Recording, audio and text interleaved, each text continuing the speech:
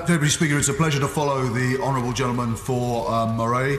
Um, many uh, community organisations in England would recognise uh, his uh, concern about uh, about funding uh, funding cuts. Certainly, I come from the constituency that produced Sir Roger uh, Bannister.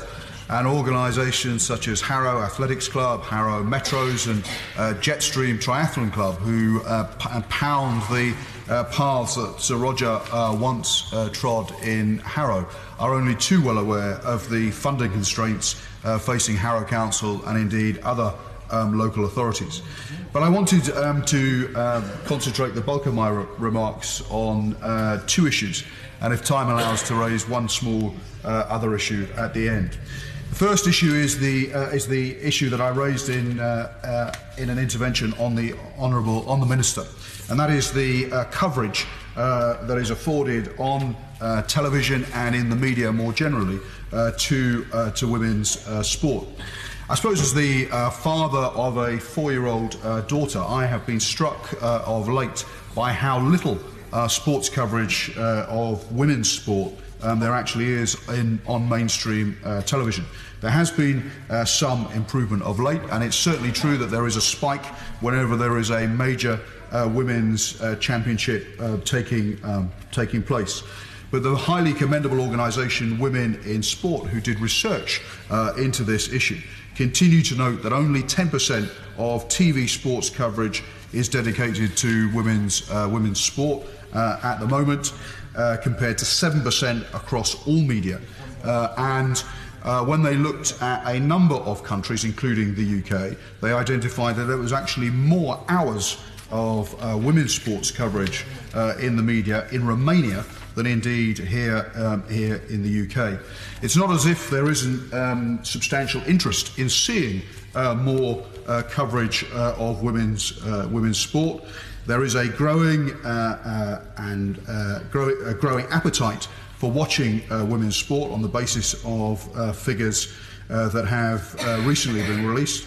Uh, research, indeed, from the specialist data measure measurement company Nielsen, showing that almost 50% of people would watch more uh, women's sport if it was accessible on free-to-air television, while almost 40% would watch it if it was available uh, online. But if we're really to see a significant change, I think it will come down to ministers uh, holding uh, the feet of the free-to-air broadcasters in particular uh, to the fire. And it would be good to hear a little more, if I may say so, uh, gently to the minister as to what she might be willing uh, to do um, in this uh, area.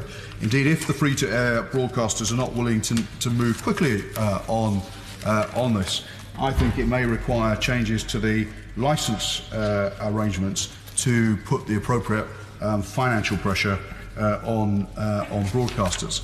Similarly, I, I share the uh, view of the Right Honourable Lady on our uh, front bench that reform of uh, the Premier uh, League is overdue.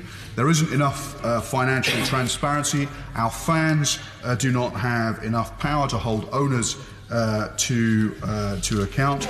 There certainly isn't enough investment from Premier League uh, revenues into uh, grassroots sport. If the Football Association have to think about uh, selling the greatest of our sporting assets, uh, Wembley, uh, Wembley Stadium, to get substantial investment into uh, grassroots uh, sport, that really is an indicator that the Premier League are not uh, doing enough.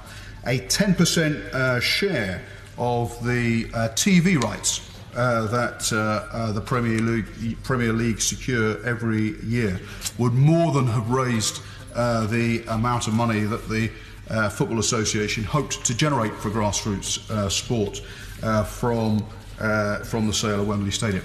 My honourable friend for Cardiff is absolutely right to say that not only the Welsh Rugby Union, but a whole series of Premier League uh, and Championship football clubs could do a lot more to tackle uh, the issue of paying the living uh, wage uh, to the poorest paid workers in uh, sport. Lastly, I think um, uh, there are Indian uh, elections uh, coming up uh, very uh, shortly. Why raise that in a debate about sport? I think it'd be wonderful to see an Indian Premier League uh, match hosted here in the UK. Certainly, many of my um, constituents would welcome the appetite to see that. just as much as American football is enjoyed at Wembley Stadium.